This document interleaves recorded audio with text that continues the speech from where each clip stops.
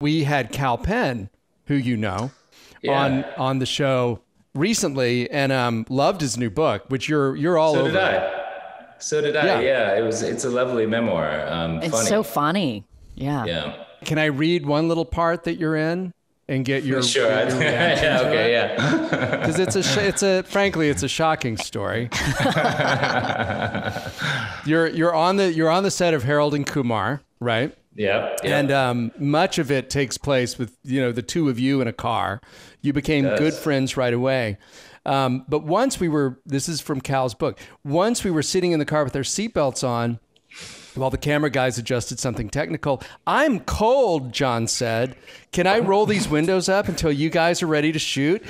After a minute, with the windows rolled up, he said he started to feel stuffy. I'm going to step out, he said. He opened his door and, in sudden rapid succession, removed the keys from the ignition, loudly farted, jumped out, hit the power locks, and slammed the door, leaving me seatbelted inside his airtight fart machine with no way out.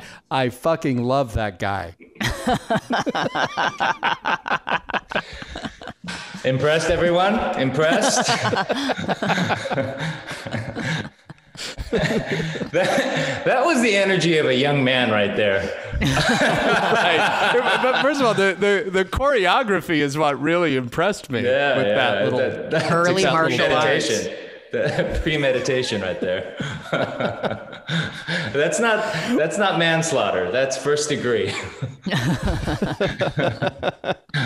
what is your what was your i mean we've uh, you know he spends a lot of time in his book remembering that time but what was your when you think back on harold and kumar because it was such a um, kind of a watershed moment for you know the industry i assume for you personally but what do you what do you, what's the first thing that you kind of take away or remember from that Well, I the first thing I thought of was I just thought this is a this is a hoax, and uh, we're gonna. Sh- It'll be hard for your younger listeners to remember that uh, the idea of a, a, motion picture starring uh, an Asian guy and an Indian guy were, was um, ridiculous, uh, and to us, uh, most of all, probably, or impossible sounding. So um, I had a sneaking suspicion that we were gonna read the address on the call sheet, show up, and there were gonna be organ harvesters there. And, uh, wow it was just gonna That's it dark. was gonna turn dark.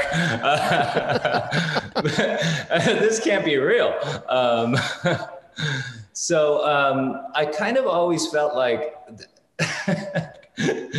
this isn't really gonna come out, is it? And uh, this isn't really a movie. And uh, uh, the other thing I'll say is it was in another era. We we bombed at the box office, but it was DVDs that saved us. So to that end, I'll say, you know, we we uh, were optimistic. We did this uh, time-honored tradition of renting a limousine and going to various theaters in Los Angeles to soak in um, soak in all the love from the uh, live audiences and one after the other. We just went to one empty box of a theater after another. Oh, so and it was it was the worst. And i've never i've never done that since. Uh, i learned my lesson. You wait and see wait till Wow. week two wait till week two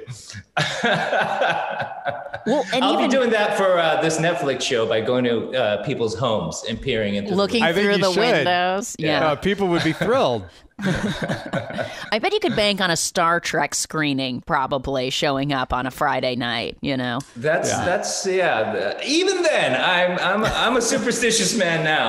I wasn't then, but I am now.